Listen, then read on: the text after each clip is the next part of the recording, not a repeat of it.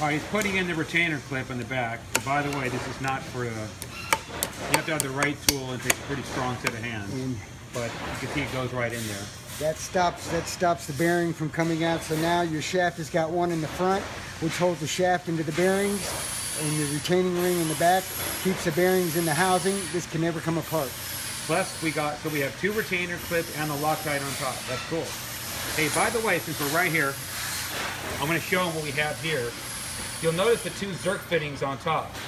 This is a Zerk check valve. Grease comes out, but it doesn't go in. This is where you put your grease in. It's very important that you only grease your pumps maybe once a week and do not over grease it. If you over grease it, you're gonna you're gonna actually blow the bearing caps off the bearing. Now this is a bearing cap, you can see it right here. That's the black part, okay? Do not over grease it and blow those off because if you do, you're gonna end up replacing a shaft and a bearing assembly. So it's best to do this at the end of the day or when the pump is good and warm. All right, we went ahead and chucked it up in the lathe here, but again, a vise or anything, the main thing is you want to keep the shaft steady, you want to keep everything nice and straight. So go ahead, Ronnie. So he's putting in the white ceramic seal. This is the pump seal, the part that fails on a pump. Very important that it's in there straight, all the way to the bottom.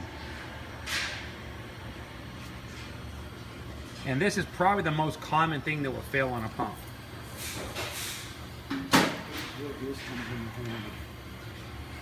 Oh, okay. You gotta get this in.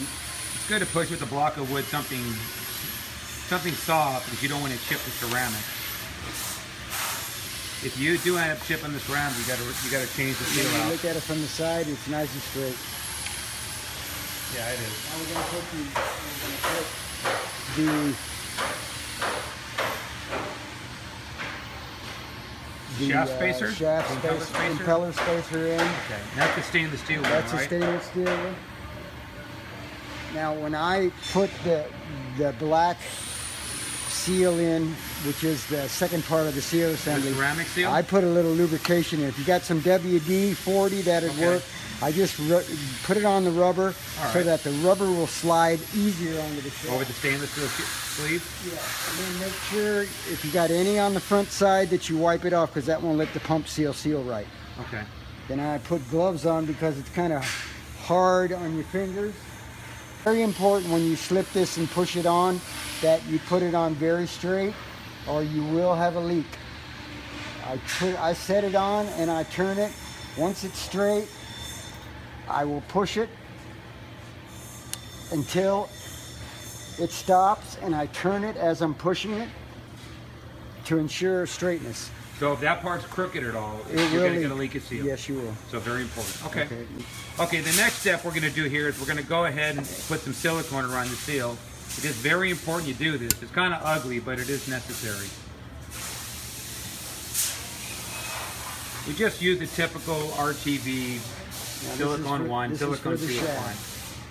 The second one is the shaft, and then I put a, a line over the over the threads. You're right on, Ronnie. It is ugly.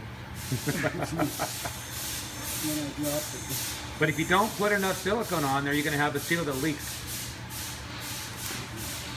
This makes the whole assembly seal, the spring assembly, with the washer. That's a trip. Okay.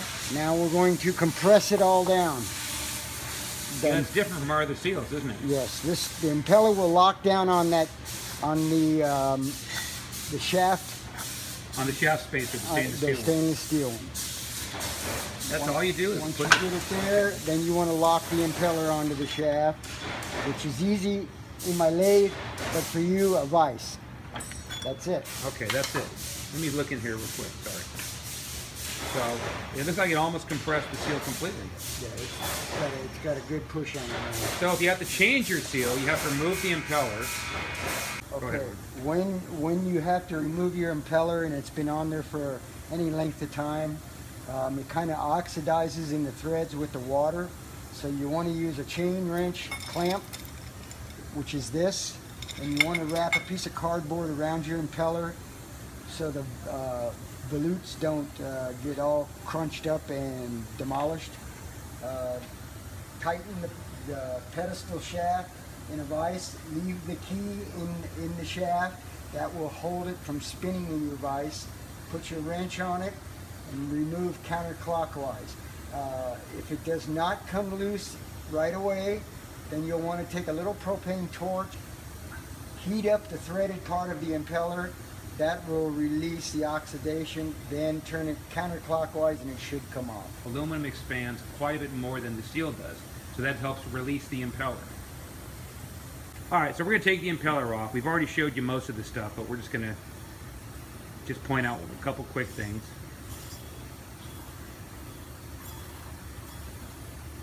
All right, he's got the impeller off, and to change your seal, really, is just a matter of changing. off all this. Yeah, you pull your this off, this off, your black carbon face right here, and the white ceramic, and you change all that stuff out.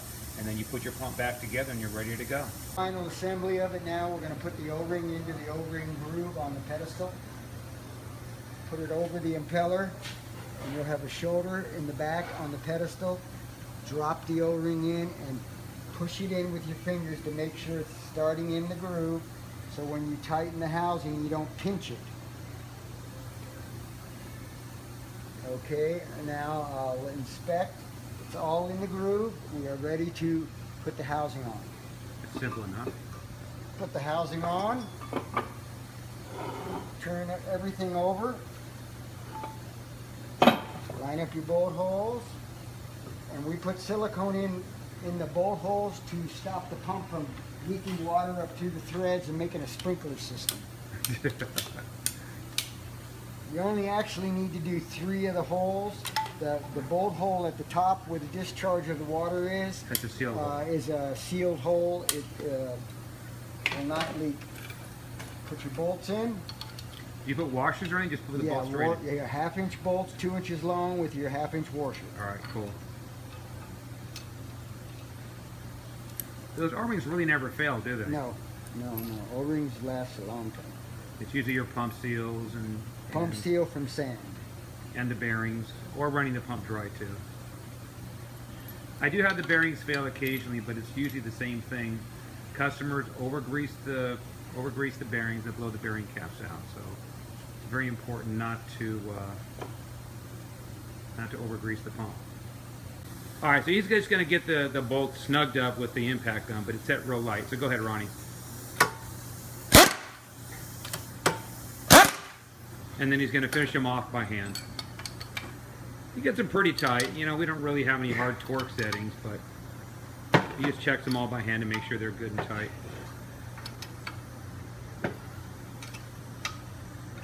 Take the shaft. If you've done the job right, the pre-assembly, it will turn nice and smooth. Let me see the front of the pump.